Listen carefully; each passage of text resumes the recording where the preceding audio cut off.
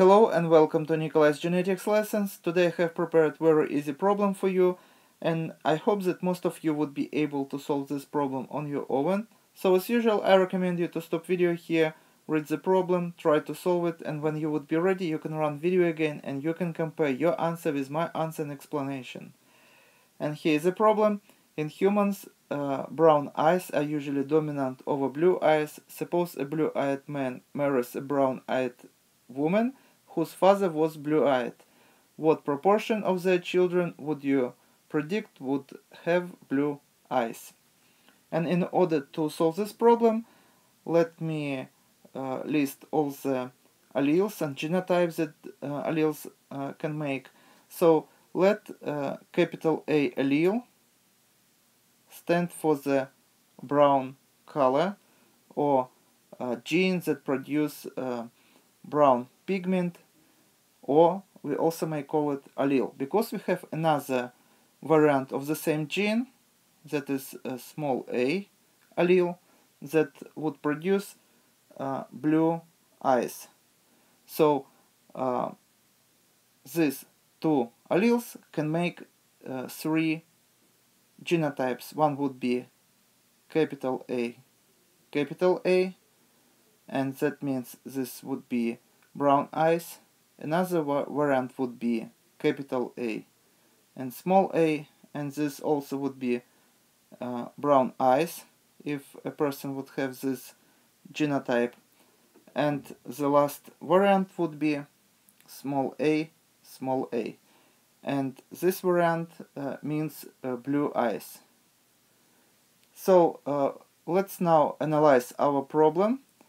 We told that uh, blue-eyed man and that means this man belong to this uh, genotype here.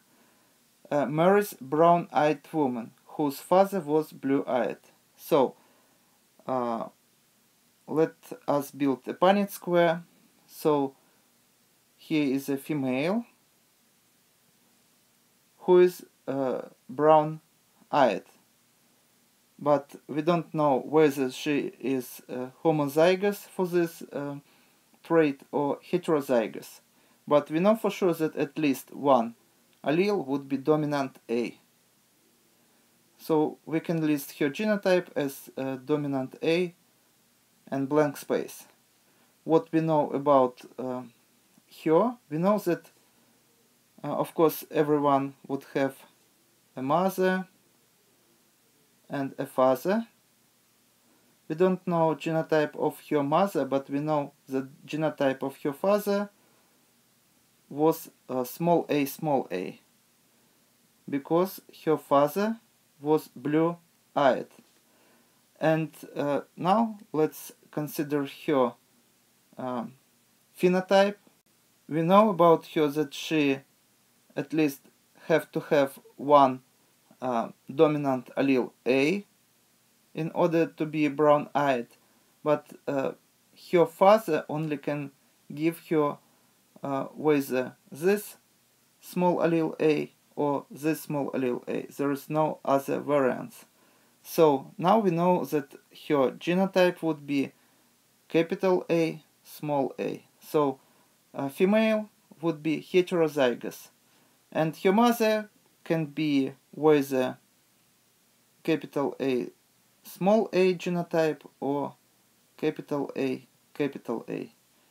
In any case, uh, such genotype uh, means that uh, her mother could provide her this dominant allele and uh, if her genotype would be capital A capital A also this variant give uh, probability that uh, she got her dominant allele from her mother so uh, these two possible genotypes of her mother, we cannot uh, say more than this, and we can say for sure that genotype of her father was small a small a, and now we're 100% sure that uh, this female genotype is capital A small a, her eye is brown.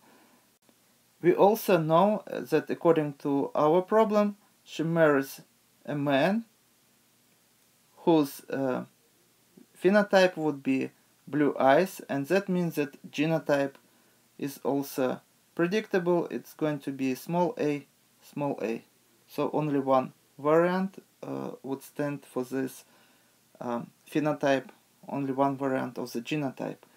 So uh, now we have to find what is the probability uh, if they would have children.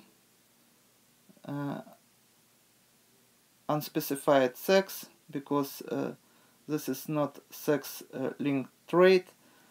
So sex of the children doesn't affect uh, this uh, trait eye color. And uh, it's very easy now to find the probability for the children to be blue-eyed when we build a Punnett square. So we have a genotype for mother that is capital A and small a and genotype of the father that is small a small a. And when we build a Punnett square we can find all the possible genotypes phenotypes and their frequencies. So here capital A small a small a small a here capital A small a here and small a small a here. As you see this genotype means blue-eyed phenotype and this genotype here means uh, brown eyes. And as you see the probability for this couple to have children with blue eyes would be 50% and this is going to be our answer today. Thank you for your attention. Please subscribe for my new videos that I post almost every day. Thumbs up if you like this video. Please write your comments questions if you have any and see you in the next video. Goodbye